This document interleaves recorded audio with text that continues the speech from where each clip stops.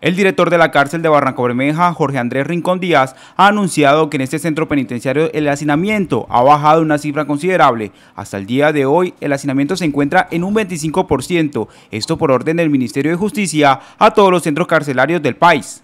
Bueno, es muy importante eh, manifestar que en este momento nos encontramos en un 25% de hacinamiento en el establecimiento penitenciario y carcelario.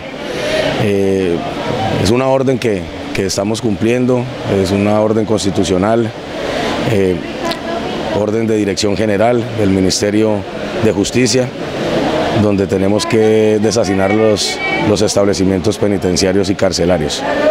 Eh, estamos también haciendo un trabajo progresivo con el objetivo de desasinar también los centros transitorios de reclusión, como lo es el CB y el Muelle, donde ya hemos avanzado en mesas de trabajo con el Comando de Policía del Magdalena Medio. El trabajo también se ha venido realizando en los centros transitorios de la ciudad, como lo es la estación del muelle y el CDB, gracias a las mesas de diálogo con el Ministerio Público y el Departamento de Policía del Magdalena Medio.